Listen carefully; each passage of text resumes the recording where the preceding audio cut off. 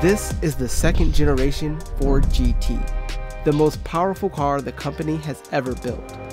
It's also one of the best aerodynamically designed cars to ever be made.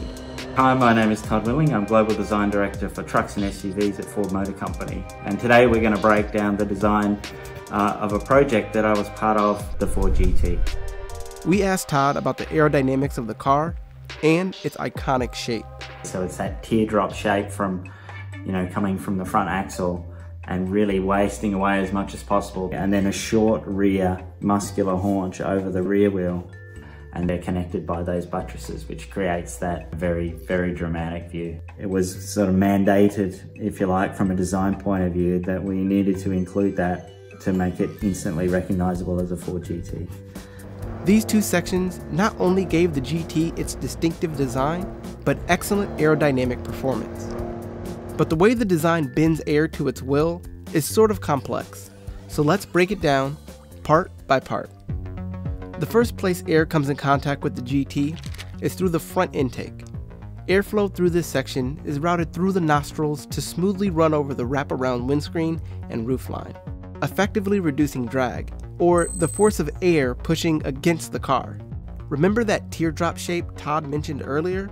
A teardrop is the most efficient aerodynamic shape. It cuts through the air at the front and slowly brings it back together in the rear. This is important because if air can't meet at the rear of the vehicle, it creates a low pressure pocket behind the car. And that effectively pulls the car back and slows it down. The flying buttresses, or the tunnels, help channel air around its teardrop shape and over the spoiler. This creates downforce in the rear. Downforce is important to have at high speed, especially when cornering. Like a plane, the air underneath the car begins to push up, as if it were trying to take off. Downforce counters this to keep the car on the track and helps tires achieve better grip for accelerating. But not all air gets routed through the tunnels. Some of it makes its way to the vent cleverly placed below. This air is routed through the engine bay to cool off components before exhausting out the center of the taillight in the rear. But that's not the only aerodynamic device in the front. There's a fantastic concept, what's called a, a keel concept, where the, the air splits and divides away in the floor beat um, and goes around the front wheels and exits out in the side. And you can see the, the scalloping in the side of the car there to allow that air to come out.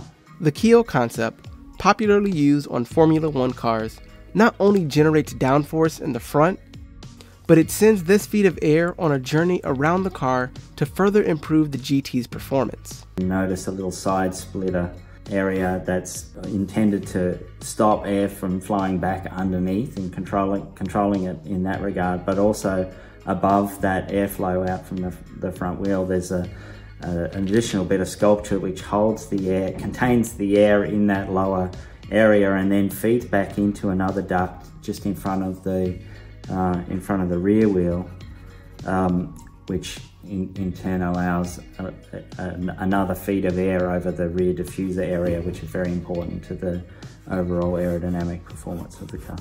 The diffuser is a tray attached to the back of the car that creates a gradually larger opening.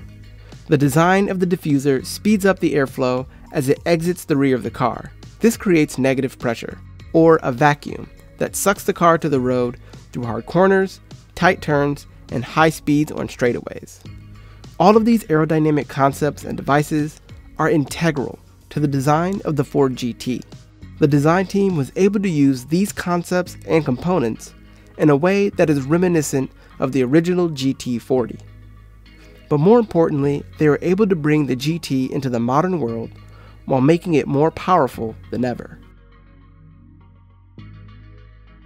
Hi, I'm AJ one of the producers of All Things Cars at Insider. If you enjoyed that video, hit subscribe for more just like it.